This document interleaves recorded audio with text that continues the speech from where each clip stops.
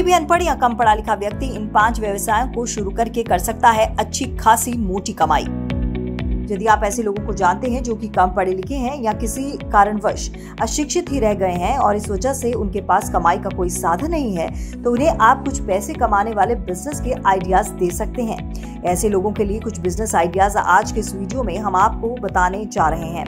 Video को अंत तक ज़रूर देखें। कम पढ़े लिखे लोगों के लिए बिज़नेस के आइडियाज़ दूध की होम डिलीवरी का बिज़नेस सुबह होते ही जब दरवाजे की घंटी की आवाज़ आती है तो उसी के बाद से आपके दिन की शुरुआत होती है। ये घंटी बजाने वाला दूध वाला होता है, जो कि रोज सुबह से लोगों के घर घर जाकर दूध देते हैं। दूध देने का काम करने वाले लोग अधिकतर अनपढ़ होते हैं या फिर ज़्यादा पढ़े लिखे नहीं होते हैं। ऐसे लोगों के लिए घर में जाकर दूध देना ही आजीविका का साधन बन जाता है। लेकिन आप सोच रहे होंगे कि ये दूध वाले खुद की डेयरी खोल सकते हैं। उन्हें लोगों के घर में दूध की होम डिलीवरी करने की आवश्यकता क्या है? तो हम आपको बता दें कि दूध डेयरी खोलने के लिए उनके पास पैसे नहीं होते हैं। और अगर वो अपनी डेयरी खोल भी लें तो लोगों को दूध डेयरी में दूध लेने की बजाय उसकी होम डिलीवरी ज़्यादा पसंद आती है। इसके लिए वो ज़्यादा पैसे देने को भी तैयार हो जाते हैं। इसलिए इससे लोगों की कमाई ज़्यादा होती है। गाड़ी धुलाई सेंटर। कम पढ़े लिखे लोगों के लिए गाड़ी धुलाई सेंटर खोलना भी पैसे कमाने का बेहतरीन अवसर साबित हो सकता है।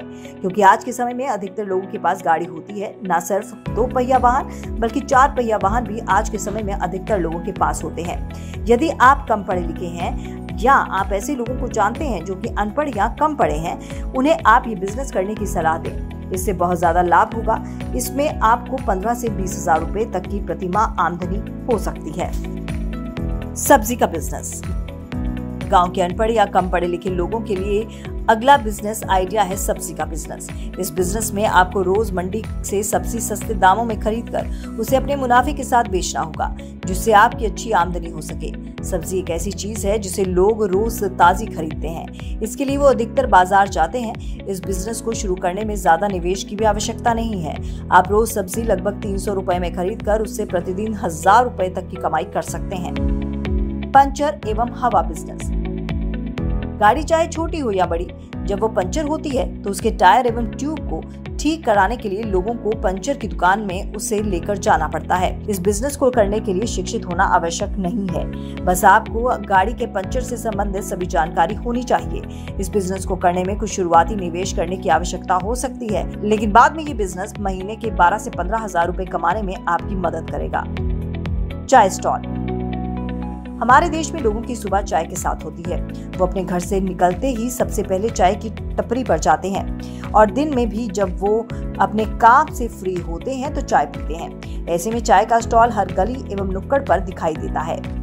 और ये स्टॉल लगाने वाले लोग अधिकतर कम पढ़े लिखे या गाँव देहात के लोग होते हैं। लेकिन यही लोग आज प्रतिमाह दस से बारह हज़ार रूपए तक की कमाई कर रहे हैं। अतः आपके लिए ये व्यवसाय करना बहुत फ़ायदेमंद हो सकता है। इसे करने में आपको कुछ ज़्यादा निवेश नहीं करना है। बस आपको जो भी निवेश करना है, वो चाय बनाने के लिए उपयोग होने वाले बर्तन एवं ठेले आदि की ही आवश्यकता होती है। तो ये थे कुछ आसान से कम पढ़े लिखे और अशिक्षित लोगों के लिए बिज़नेस आइडियाज़ इससे कोई भी व्यक्ति जिन्हें पढ़ना लिखना नहीं आता है, वो शुरू कर सकता है और पैसे कमाकर अपना घर चला सकता है।